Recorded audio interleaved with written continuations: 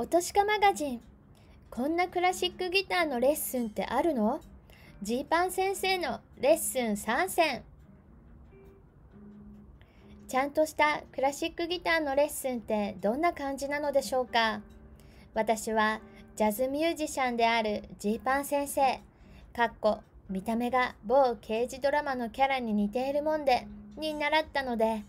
一般的なクラシックギターのレッスンがどんな感じか分かりません。でもおそらくこんなレッスンはないのでは？と思ったレッスン方法を3選ご紹介させていただきたいと思います。童謡やポップスをジャズっぽく弾く。たまにジーパン先生がレッスン中に言われたことが私はクラシック以外のことも教えるから多分他のクラシックギターレッスンよりも楽しいかもしれないよです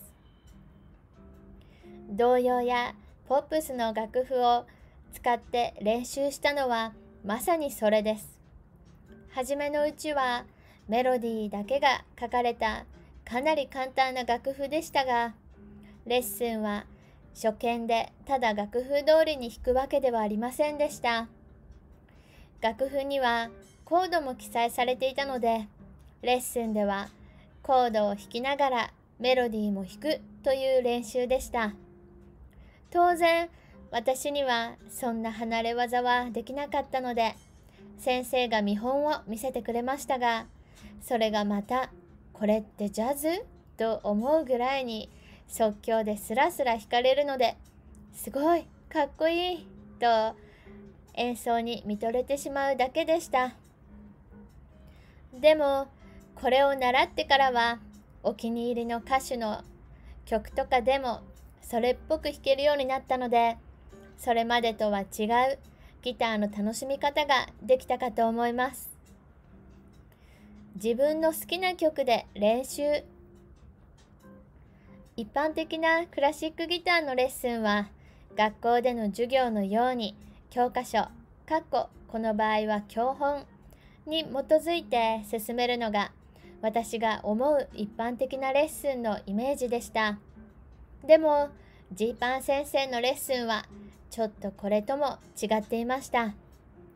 私がたまに個人的に好きな曲を練習してそのことを先生に言うと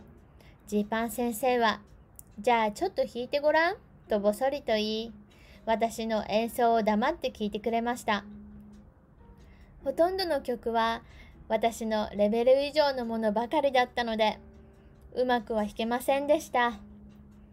当然先生も若干苦笑いして「うんダメだね」とバッサリ切り捨て。でもその後からは必ずレッスンでその曲もチェックしていただいたので自分ではわからない問題点に「ああなるほど」と気づくとこも多々ありました当時の自分は早くスキルを上げたかったので難易度の高い曲をよく練習していました。音楽仲間の前で披露すると、わあ、すごいとよく言われましたが、ジーパン先生からは指摘しか受けませんでした。いくらそれっぽく弾けるようになっても、ただ弾いているだけだったので、音楽的には全く成立できていないとよく指摘を受けたような気がします。レッスンと同じくらいに濃い雑談ジーパン先生のレッスンで楽しみだったのがレッスン終了後の雑談でした日によっては雑談の方がレッスンよりも長い時間長い時間が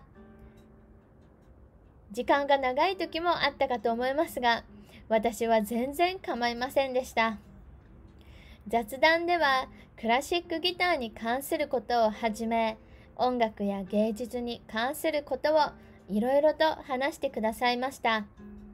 もちろん話の中にはジーパン先生が個人的に思っていることも含まれているので全てが正しいというわけではなかったかもしれません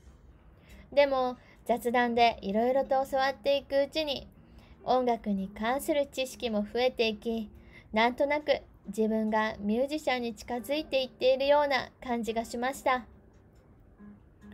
ジーパン先生に習ってよかった。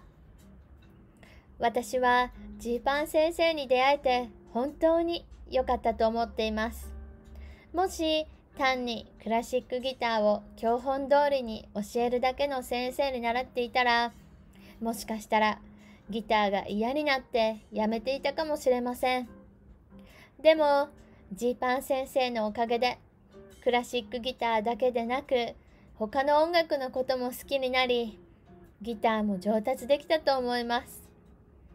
ジーパン先生からギターを教わりラッキーだったと今でも思います。ご視聴ありがとうございました。この記事を書いた人、無料、ナレーション、吉成ゆい、おとしかマガジン、チャンネル登録、よろしくね。